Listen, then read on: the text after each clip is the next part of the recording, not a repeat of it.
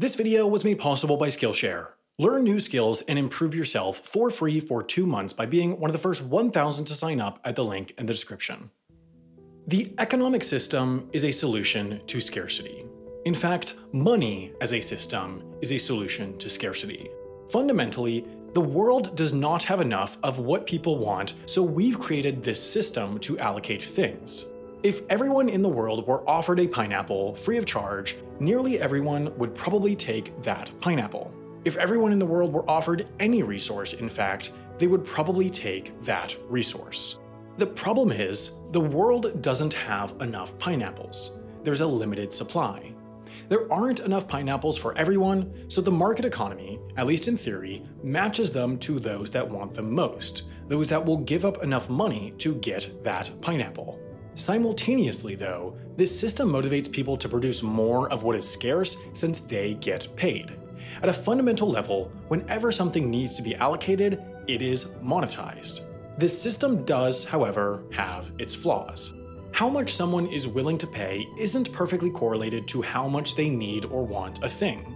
In the purest form of this system, every participant would have the same amount of money and the same ability to pay so that what they would offer for a scarce resource would perfectly correlate to how much they want it, but that, of course, is not the case. In the real world, some people have more money than others, and so this system breaks down.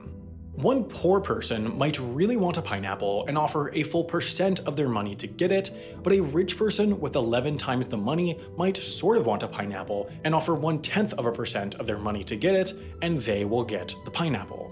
In this circumstance, the market system breaks down as the person who wanted the pineapple less has received it. The overall social good is not maximized.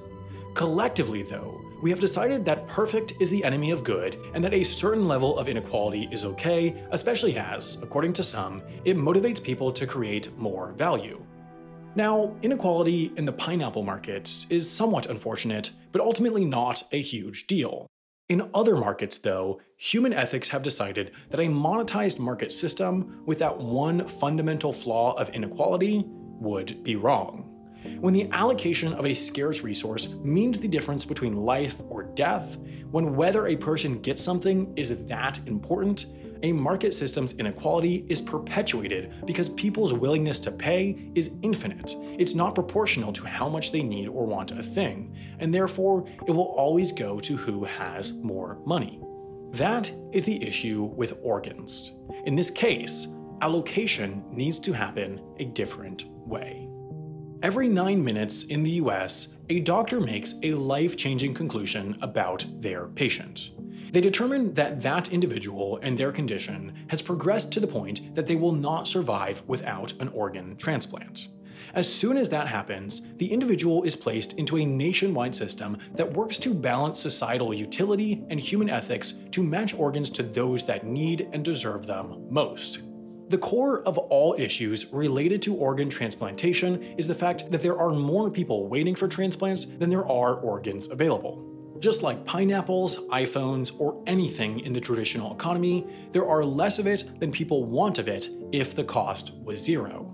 In the US, 112,000 people are on those lists, whereas only 39,718 transplants were actually performed in 2019.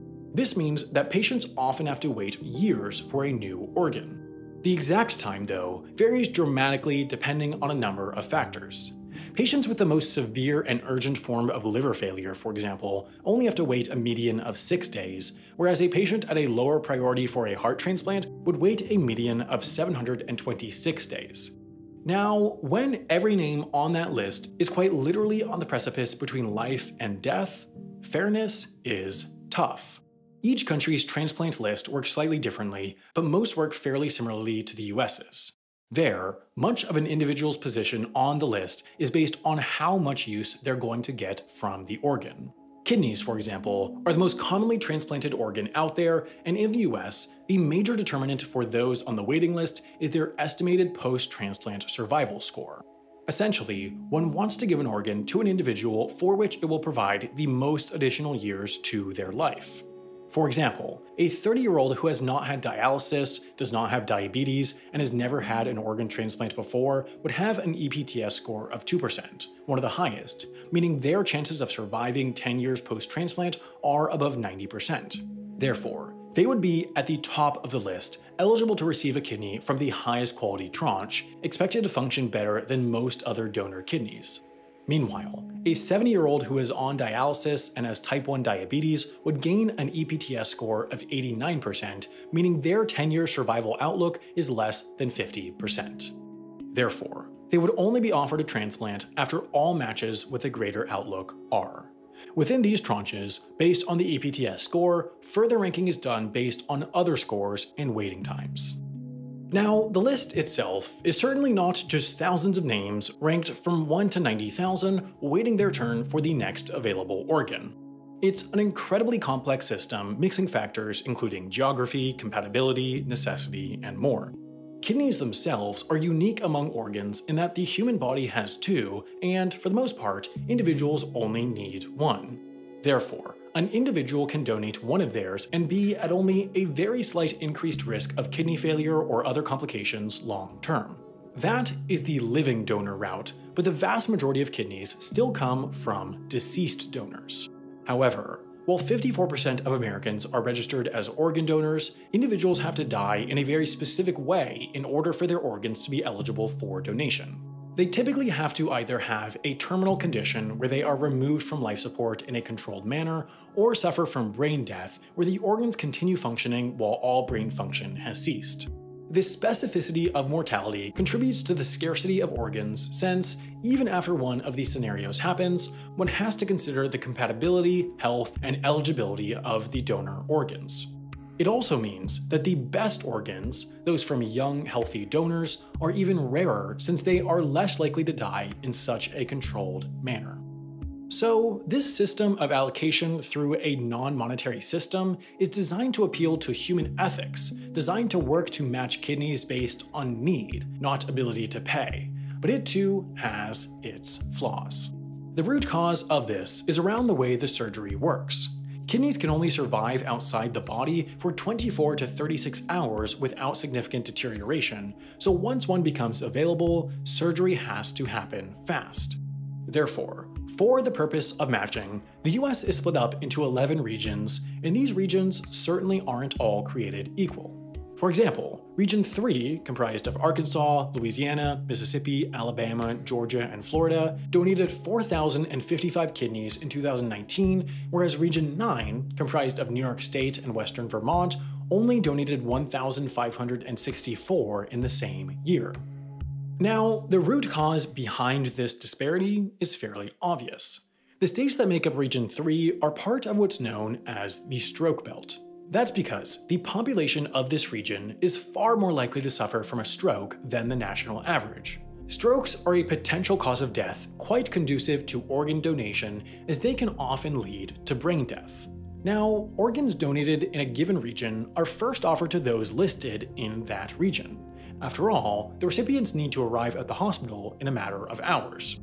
Therefore, as Region 3 has more organs available, the median waiting time for a kidney and many other organ types is far shorter here than in Region 9. Interestingly, the rules in the US do allow those that need a transplant to list themselves in multiple regions, as long as they follow all the other rules the same as someone living in that region. That means that they still need to go through all the testing ahead of time at the local hospital, and they need to report to that hospital in time once they get the call that an organ is available. When Steve Jobs received a liver transplant in 2009, for example, he did so in Memphis, Tennessee, far from where he lived in California. Tennessee is also considered as part of the stroke belt, and therefore the transplant region it is in, 11, has shorter wait times. Of course, wealthier people, such as Steve Jobs, are able to do things like fly in a private jet to get to the transplant hospital in time, and he even bought a house in Memphis to stay during his recovery. It's no wonder why there is such a strong positive correlation between patients listing in multiple regions and income levels. This system certainly perpetuates inequality, but the alternative is that a patient in New York is punished for the fact that their region is healthier. So overall, the organ transplant system does not solve inequality, but only reduces it. Simultaneously though, it does not have a mechanism to solve the issue of scarcity. The traditional market economy solves scarcity by paying people more money for what is in high demand, therefore, in theory, bringing things to an equilibrium. But this system has no way to increase supply when demand is higher.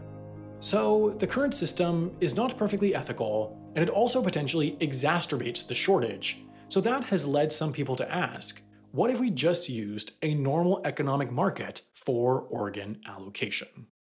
That is what happened in Iran. Previously, the waiting list for kidneys in the country exceeded that of almost any other nation due to political instability and cultural stigma against organ donation. However, in 1988, they implemented a system where recipients could pay donors for their organs.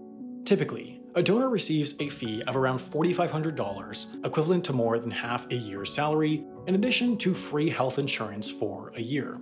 Now, this isn't a truly free market, it is highly regulated and managed, but reports indicate that it has had some success at solving the scarcity problem.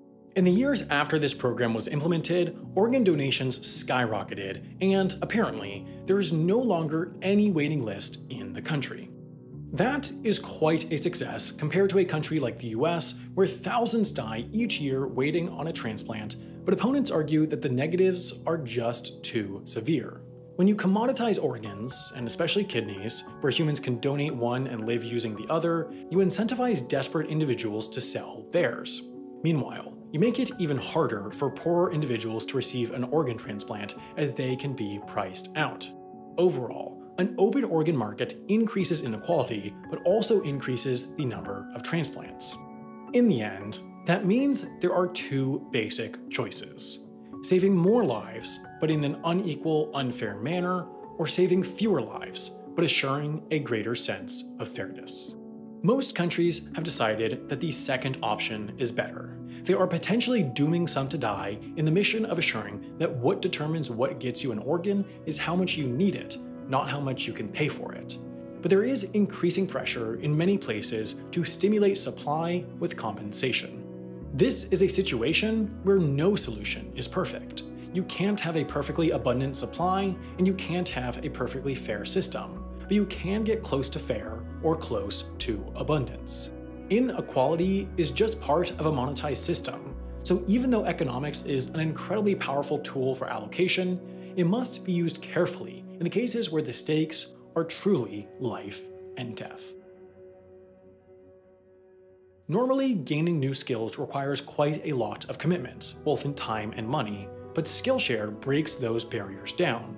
You can learn in short sessions online, making far more possible. What you can learn there ranges from classes on filmmaking at home all the way to how to use Evernote to boost your productivity. They really make sure that their portfolio of thousands of high quality classes allow someone to both become super experienced in one thing or fairly experienced in a lot of things. You can become an expert or a generalist, depending on what you prefer. For those of you wanting to get into YouTube, I'd especially recommend Polymatter's classes on making animated YouTube videos and making great YouTube thumbnails.